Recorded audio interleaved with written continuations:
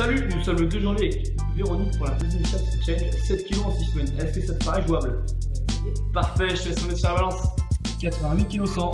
Salut, nous sommes le 12 février avec Véronique pour la pesée finale de ce challenge 7 kg en 6 semaines. Ton poids initial était de 88 kg 100, il faut que tu sois en dessous de 81 kg 100. Est-ce que ça te paraît jouable Ouais. Super, je te laisse monter sur la balance Véronique.